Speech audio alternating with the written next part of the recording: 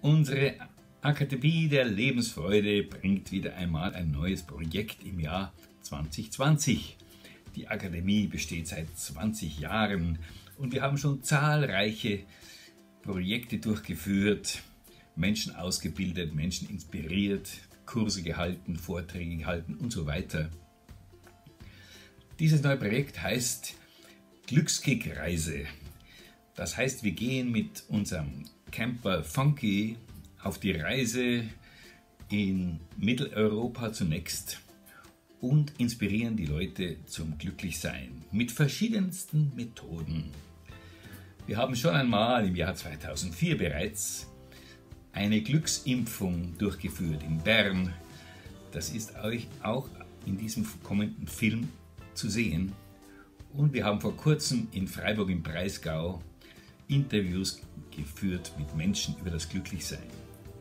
Solche und ähnliche Elemente werden einfließen, aber auch das inspirierte Älterwerden. Über dieses Thema habe ich ein Buch geschrieben und wir wollen auch speziell ältere Menschen ansprechen.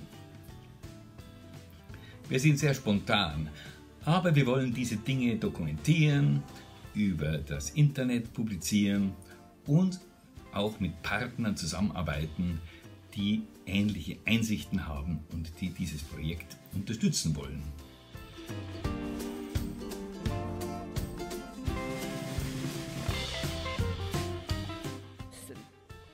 Und die Epigenetik lernt uns, dass wir für alles im Leben verantwortlich sind, sobald wir erkannt haben, dass wir verantwortlich sind.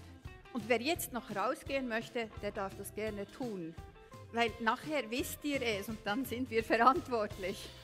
Schiffe sind nicht gemacht, um im Hafen still auf dem Trockenen zu liegen.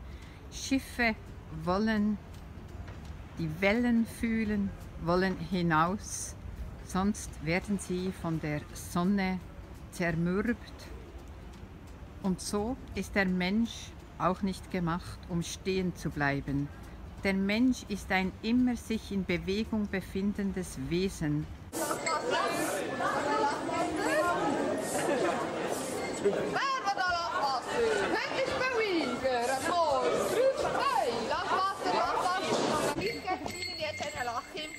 Schauen Sie. Ja, ja, ja. Ja, schauen Sie, ja. Ja, haben Sie gesund und noch ein Glück. Also wissen Sie, ich meine, das ist wichtig. Sie müssen mit Ihrem Leben zufrieden sein.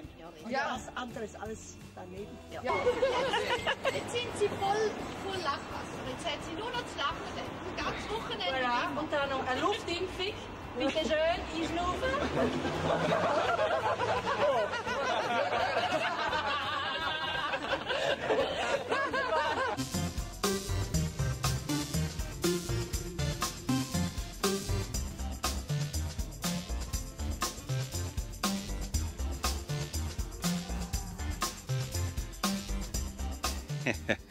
Ganz guten Morgen. Yes. Guten Morgen. Von unserer Spontanreise in der Schweiz. Genau. Und eben haben wir entschieden, dass das der Platz der Freiheit ist. Ja, der Platz der Freiheit.